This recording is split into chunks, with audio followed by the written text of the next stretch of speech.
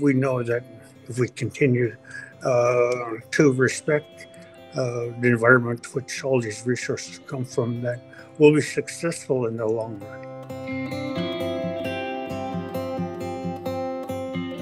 I'll say that I've never heard of anything called a tipping point within the community. It's always, uh, you know, how do we use our foundations and our practices to move forward?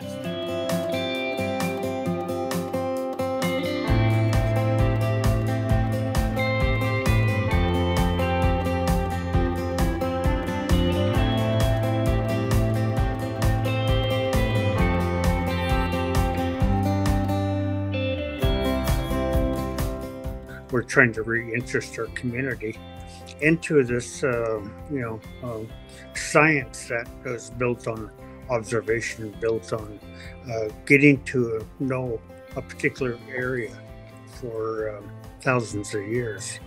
Uh, and you have to realize that we as tribal people, we're very dedicated to our homelands.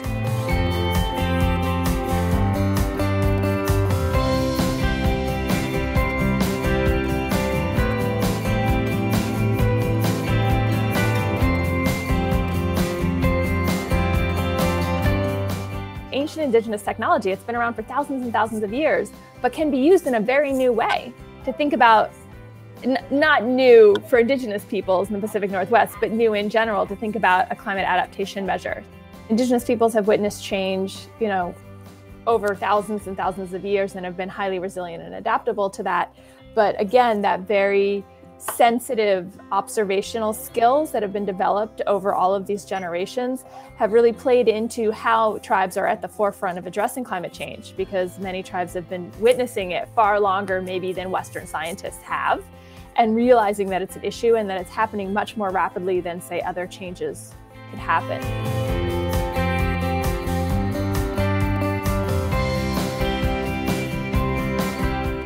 As an example, one of our adaptive strategies at Swinomish is that we're building a clam garden, which is an ancient indigenous technology. But one of the great things about clam gardens is that it's a low-lying rock wall built on the tidelands around Mean low Tide. So oftentimes you won't even see it. Um, but what we've what they've been finding, particularly in British Columbia, where there's a lot of remnant clam gardens that still exist, is that they've moved over thousands of years because people have moved them as as tidal elevation levels have changed.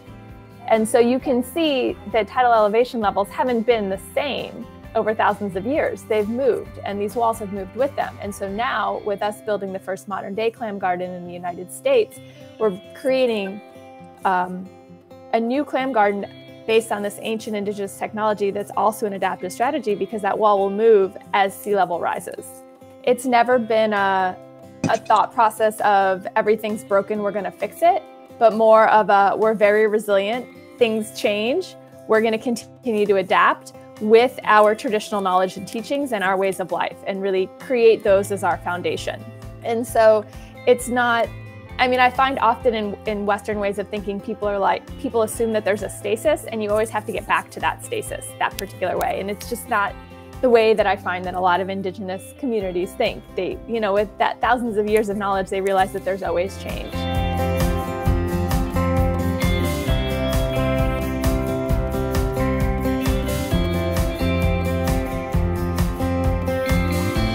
I think that um, basically as you see the US government trying to take indigenous knowledge and indigenous practices away from indigenous people, really what folks are thinking of is this is the way, this is the way forward, is, is to come back to these knowledge and these practices and not specifically fixing the environment, but ensuring that as the community has that connection with their place, they're able to move forward as that place may change.